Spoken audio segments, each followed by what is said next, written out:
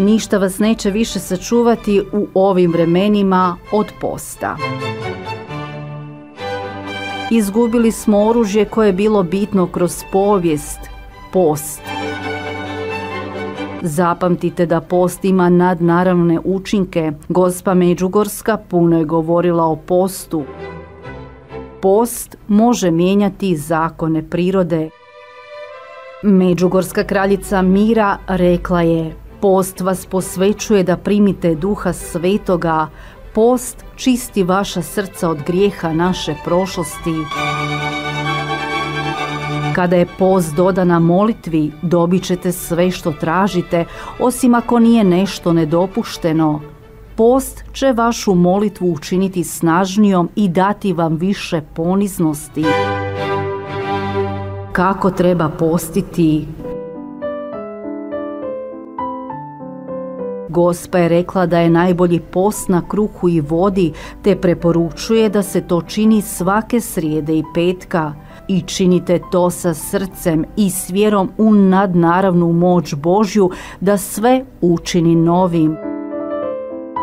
No, također je rekla da post koji trenutno predlaže crkva nije adekvatan da iskoristi svoj potencijal jer nije zahtjevan. Crkva je stoljećima popuštala svoja pravila, osobito na zapadu. Danas dopušta mnogo veću opuštenost do točke u kojoj post u biti ne postoji. Uobičajeno je da katolici podlegnu minimalnostima jer im je cilj učiniti samo ono što slovo zakona nalaže, a ne podnijeti veću žrtvu. Na primjer, dovoljno im je postiti dva dana u godini koja crkva traži, pepelnicu i veliki petak i suzdržati se od mesa petkom korizme, ali to nije prava post.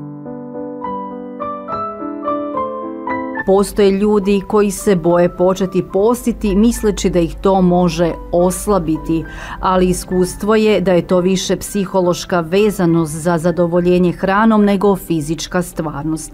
To možete provjeriti tako da se ohrabrite da počnete s nekoliko sati dnevno, na primjer preskakanje doručka ili ručka i onda probati postiti 24 sata, ne jesti ništa od prethodne večere i prekinuti post za večeru na dan posta. Milosti posta i molitve su velike i potrebne da nas pripreme za događaje koji su pred nama.